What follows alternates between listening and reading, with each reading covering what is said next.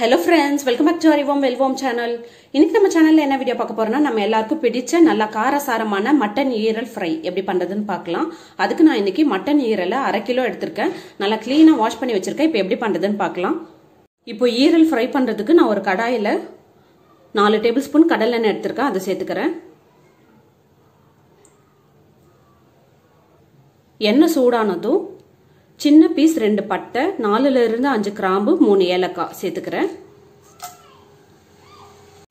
இது கூடவே ஒரு டேபிள் ஸ்பூன் சோம்பு.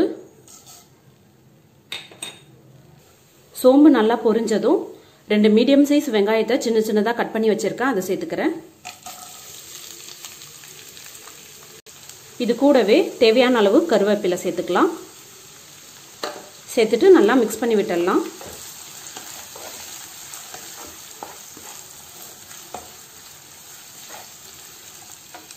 வெங்காயம் நல்லா வதங்கட்டும். இந்த வெங்காயம் கூடவே மூணு பச்சை மிளகாவை கட் பண்ணி வச்சிருக்கேன். அதை சேர்த்துக்கிறேன்.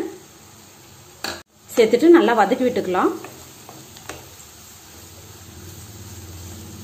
எல்லாம் நல்லா வதங்கட்டும்.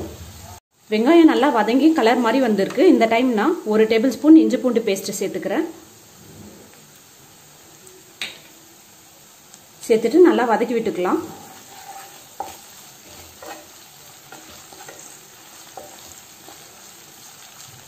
இந்த இஞ்சி பூண்டு வாசனை போனதும் அரை டேபிள் ஸ்பூன் மஞ்சள் தூள்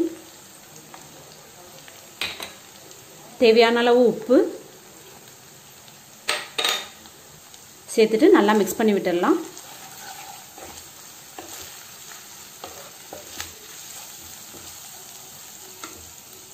இந்த டைம் நான் வாஷ் பண்ணி வச்சுருக்க மட்டனோட ஈரலை சேர்த்துறேன்.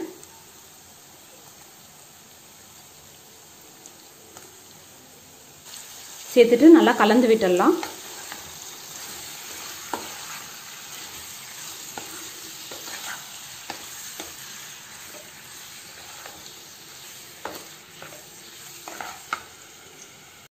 இப்போ டென் டு ஃபிஃப்டீன் மினிட்ஸ் நல்லா வேகட்டும். ஒரு லெட்டு போட்டு க்ளோஸ் பண்ணிடலாம் நம்ம.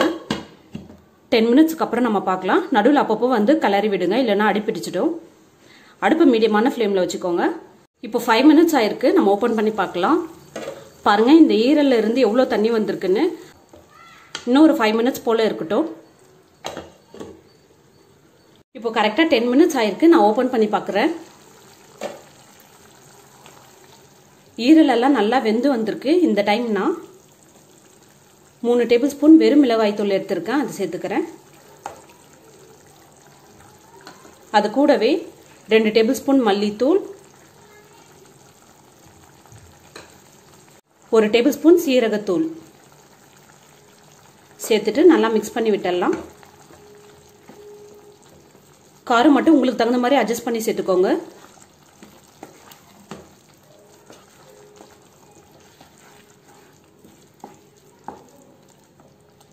மசாலா சேர்த்து இப்போ கரெக்டாக ஒன் மினிட் ஆயிருக்கு. நான் ஓப்பன் பண்ணி பார்க்குறேன் பாருங்கள் மசாலா வாசனைலாம் போய் எண்ணெய் நல்லா மேலே பிரிஞ்சு வந்திருக்கு.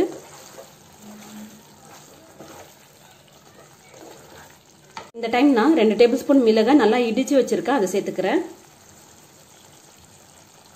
சேர்த்துட்டு நல்லா மிக்ஸ் பண்ணி விட்டுடலாம். நல்லா மணமாக இருக்குது கையாலே இடித்து சேர்த்ததால்.